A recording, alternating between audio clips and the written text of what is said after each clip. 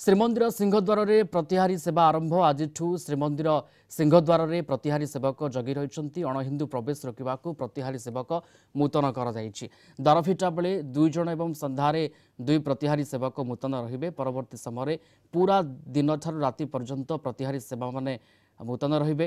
ଫଳରେ ଅଣହିନ୍ଦୁମାନଙ୍କୁ ଚିହ୍ନଟ କରିବାରେ ସମର୍ଥ ହେବ ବୋଲି କହିଛନ୍ତି ପ୍ରତିହାରୀ ନିଯୋଗର ସମ୍ପାଦକ ମାଧବ ମହାପାତ୍ର।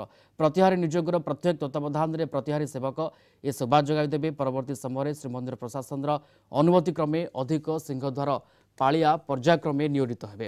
ଶ୍ରୀମନ୍ଦିର ରେକର୍ଡ ଅଫ୍ ରାଇଟ୍ସରେ ଏହି ସେବା ରହିଥିଲେ ମଧ୍ୟ କୌଣସି କାରଣରୁ ଦୀର୍ଘ ବର୍ଷ ହେବ ଏହା ବନ୍ଦ ରହିଥିଲା। ଶ୍ରୀମନ୍ଦିରରେ ଅଣହିନ୍ଦୁମାନଙ୍କ ପ୍ରବେଶ ଯୋଗୁଁ ପ୍ରତିହାରୀ ନିଯୋଗ ପକ୍ଷରୁ ଶ୍ରୀମନ୍ଦିର ପ୍ରଶାସନ ନିକଟରେ ଏ ସେବାର ପୁନଃ ପ୍ରଚଳନ ପାଇଁ ଦାବି ଉପସ୍ଥାପନ କରାଯାଇଥିଲା।